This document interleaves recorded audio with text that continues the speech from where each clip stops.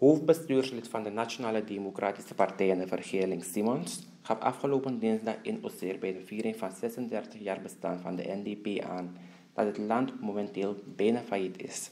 Het bestuurslid benadrukte dat ze nog geloof heeft om het land onder controle te krijgen. Die gewoon vanaf 2020 op zich heeft genomen om te beginnen met het afbreken van deze samenleving.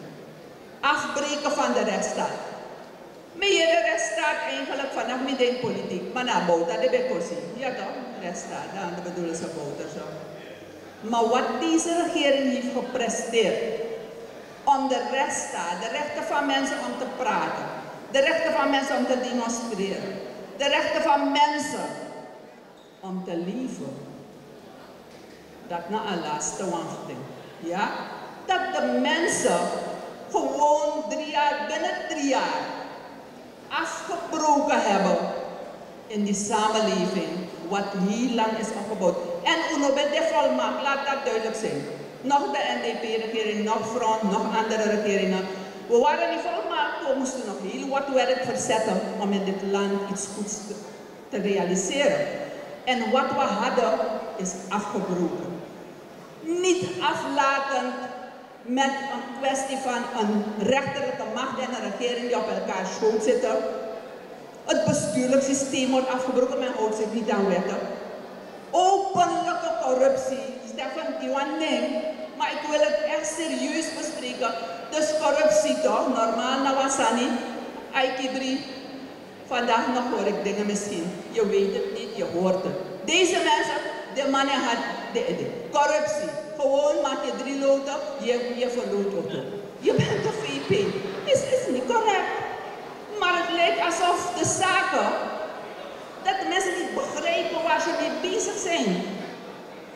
Openlijke corruptie zoals dat nog nooit eerder in het land is vertoond.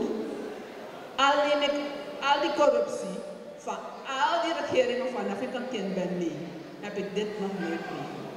Ik heb het nog nooit meegemaakt. En we gaan nog moeten horen in geld uitgedrukt. En dat zal ook wel niet nu gebeuren. Wat dat precies is geweest. Maar corruptie is niet alleen geld.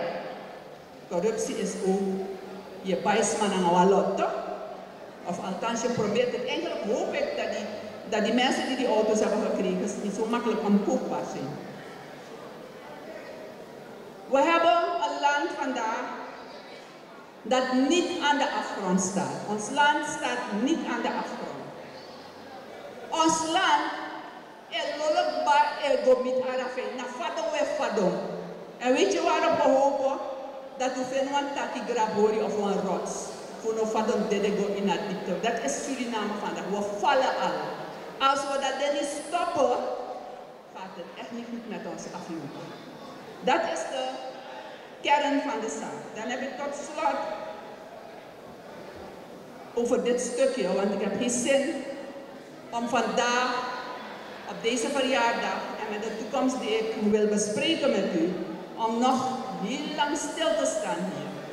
Maar laat mij zeggen dat mijn conclusie is, mijn analyse is, dat DESMA, de bezig brokasani in, importeert trasma, de hele samenleving in de war en chaos, dat het niet alleen Surinamers zijn. Misschien moet ik zeggen dat het geen Surinamers zijn, maar niet allemaal.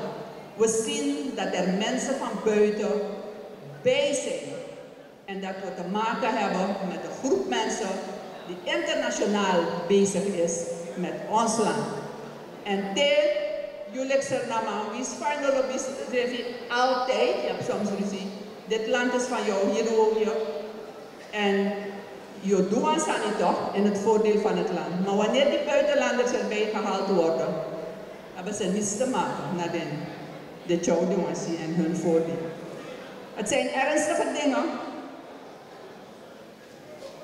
waarvan ik hoop dat straks, wanneer we het veld ingaan, maar ook wanneer we onze scholingen doen, dat je onthoudt in Sandisi, omdat het zijn grondpraxeris, het zijn fundamentele problemen waarmee we geconfronteerd worden in dit land. En die armoede en die slechte gezondheidszorg En al die problemen waarmee we geconfronteerd worden, zijn het gevolg van deze fundamentele disrespect van de structuur van dit land, zowel economisch, sociaal als maatschappelijk. Disrespect, dat is wat ik zie.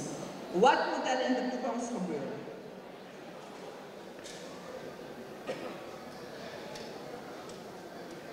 Ik heb geloof in de toekomst van Suriname. Als ik kijk naar hoeveel jonge mensen, sommigen die ik zelf heb laten opleiden en getraind en met alle skills het land verlaten, dan lijkt het bijna like akonderen op mijn toekomst. Maar ik geloof dat niet. Ik geloof dat het land een toekomst heeft.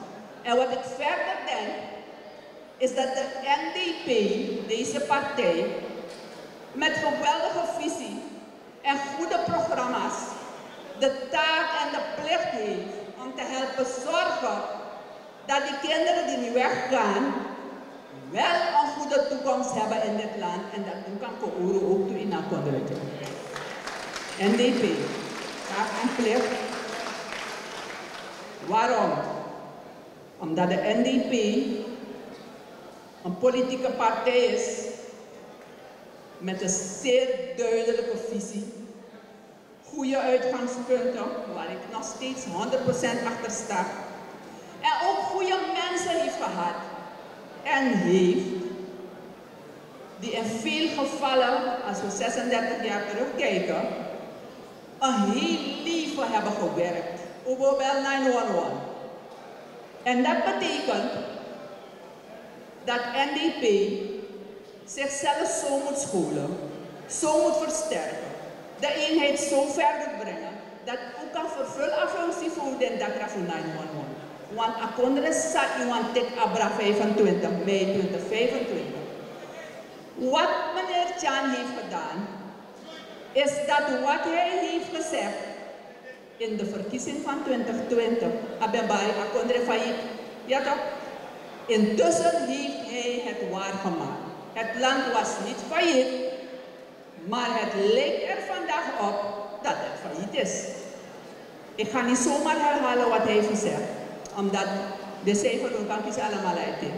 Maar waar het wel failliet is, is op sociaal gebied, op het gebied van de voorzieningen, op het gebied van de instituten, is alles kapot. En dat is het land dat NDP wil gaan overnemen omdat de NDP denkt, omdat de NDP weet, dat als wij ons houden aan onze eigen principes, als wij ons houden aan onze eigen visie, als wij ons houden aan onze eigen programma's, then we can do the job. De NDP heeft als basis voor de ontwikkeling van beleid en bestuurlijk handelen als basis de democratische rechtsstaat. En nooit moet iemand u meer iets anders komen vertellen. Want desmassa no sabi hebben nu toch gezien. Suma is geen de democratische rechtsstaat. Heeft u het niet gezien? Oké dan. De NDP de democratische rechtsstaat. Een sociaal rechtvaardige samenleving.